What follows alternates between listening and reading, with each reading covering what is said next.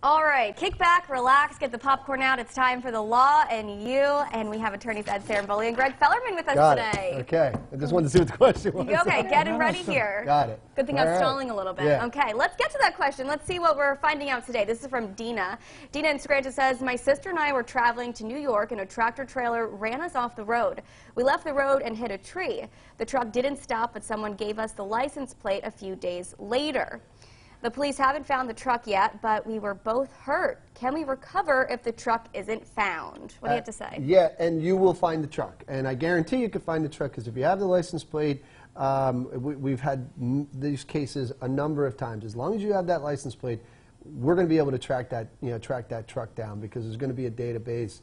Um, a- and, I mean, we've tracked trucks down that have been stolen. They've been across the country. You'll be able to, you'll be able to find it. Now, whether you're, you know, you're going to be able to make a recovery against that particular entity, that's a little bit more nuanced and a, and a little bit more complicated. There's some insurance rules and, and trucking, you know, in, in trucking cases that apply, but you definitely can make a recovery, and you have a claim against your own insurance if you have underinsured motorist coverage as well.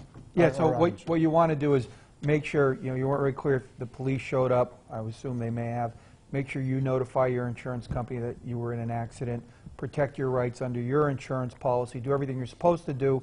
And, you know, i- i- probably in this case, if you get a firm involved that handles trucking cases like we do, we can help and assist in trying to run this thing down. So that's, you know, that's kind of what we, we recommend you do. You have, you have some hoops to jump through, but I'd, I'd call, call. Yeah, yeah. get I mean, you on actually have a lot of hoops Yeah. to jump through. So, and, and the key thing is going to be, you know, getting a, an investigator, being able to track down all that information Yeah. very quickly, uh, because you know the trailer may be owned by a different company than, than the company that's actually you know has has the license. Uh, there's a lot lot that goes Lot of into issues. this. A lot of issues. All right, well, Dina, it sounds like you have a case here, so give the guys a call. You can also find them online or track them down on social media.